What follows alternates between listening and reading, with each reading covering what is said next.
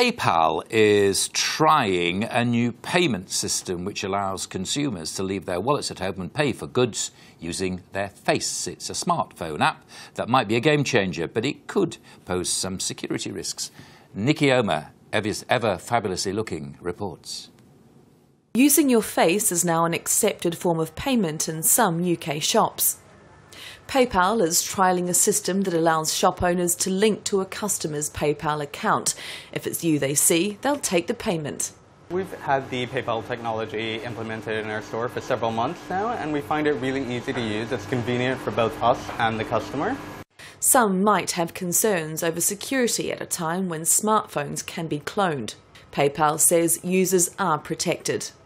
But there are security implications as companies gather more and more personal data.